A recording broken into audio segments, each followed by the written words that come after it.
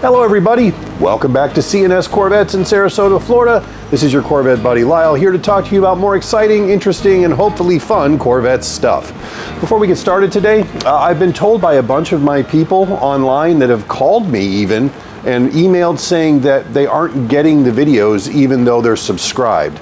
Now I checked into this and the uh, YouTube's algorithm has changed slightly and uh, several other YouTubers have talked about this too where even though you're subscribed, for whatever reason, it has unsubscribed you. So if you are a subscriber to our channel, and if you are, I thank you very much, please double check and make sure that the subscribe the subscription button is still active because if it's not, you're not going to be alerted when we come out with new content. Uh, so just check that for me. And if you haven't subscribed yet, this would be an excellent time to do so. Thanks. Now, let's get into today's topic. And uh, it's pretty interesting. It's about C6 Corvettes with automatic transmissions, why they get stuck in park, and how to fix it.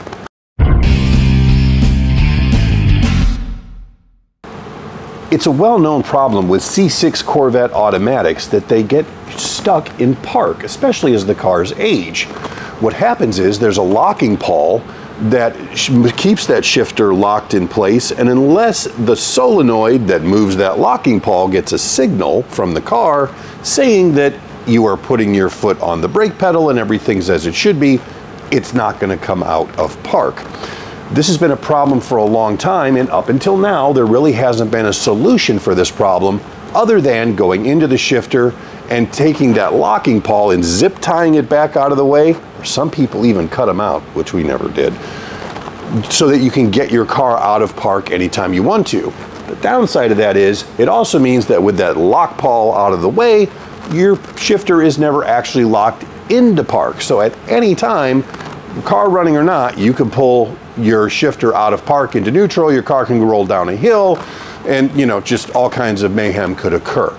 So we've been anxiously awaiting somebody to come up with a solution to this that was actually a workable solution. And we were contacted by a small engineering firm who love Corvettes, who actually made the solution to this problem. And what we found out was that it isn't the solenoid that goes bad in the shifter.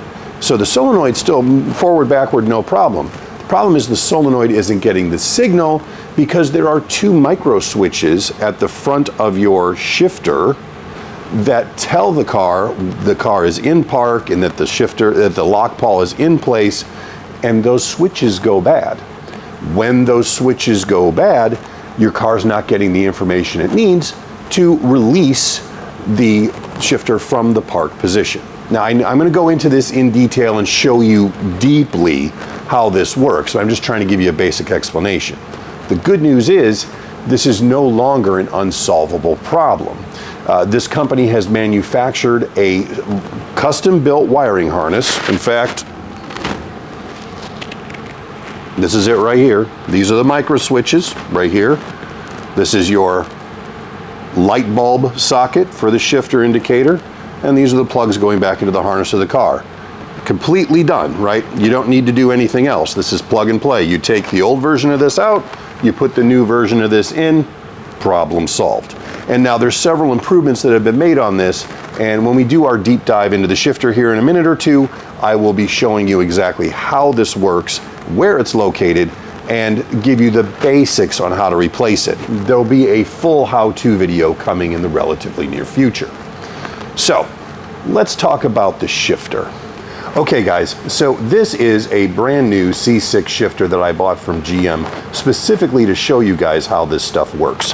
Uh, let's talk about some of the main parts of the shifter. So this here is the shifter solenoid and it has a rod that goes up to and I highlighted it with white paint, this is the moving lock pawl that keeps your shifter in park. And you'll notice, let me get close here, you have a micro switch here and a micro switch here. When those switches wear out, then none of this information is making its way through this wire down here and back into your car.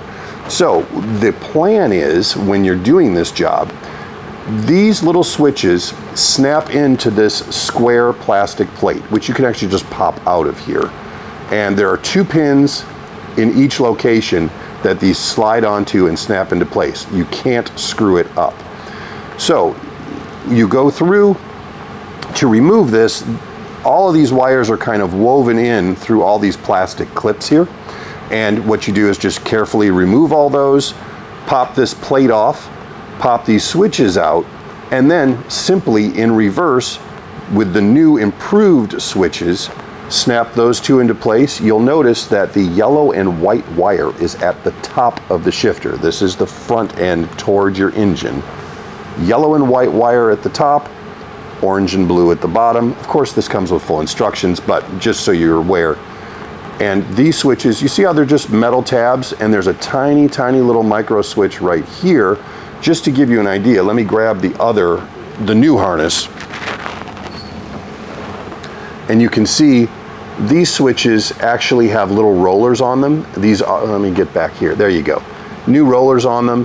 These are highly upgraded switches. They're far better quality than what came from GM. In fact, uh, I've sold about 20 of these so far and uh, without even talking about them just to other people in the business and what they're doing these are guys who are buying new shifters from GM and what they're doing before they even offer them for sale they're putting the new uh, switch harness in it so that the things will actually work because they're having failure rates pretty high on these brand new right now. So that's basically it. Let me go through this one more time. When you push your brake pedal, that tells the computer checks to make sure this switch and this switch are in the proper location, that they're both closed. That then sends a signal to the solenoid. The solenoid pivots the lock pawl out of the way and once that happens, this switch activates and lets you pull the shifter out of the way. That's how this works. So the, all you have to do is remove it. And I said a full video will be coming, but just to give you an idea, um, then you just replace the harness. Now you'll notice there's a hole here and a hole here. That's where the snaps for the framework that goes around this that holds your shifter boot and all of your other things that snap onto here. This Accessing this is really easy.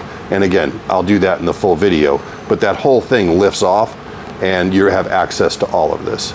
But that's where this goes and that's what that does. So that basically is how the shifter lockout switching system works and that is all the main pieces of it. If you have other questions, by all means in the comments below, ask the questions. I'll answer them as quickly as possible. Uh, these switches, assemblies, these harnesses are going to be available on our website, CorvettePartsCenter.com, link in the description below. They're going to be $155 delivered to your door anywhere in the United States. If you live outside the country and you need this, please message me below or email me and I can get you a shipping quote. We can go that way. So that's where we're at with that. I am very excited about this because it actually solves problems. C&S Corvettes has always focused on products that solve problems, like our horn contacts for the C5 and other things that GM just really never addressed. And we were so excited when this engineering company reached out to us to be the distributor for this new product. So if you have questions, comment below, email me, whatever you need to do. I'll help you however I can.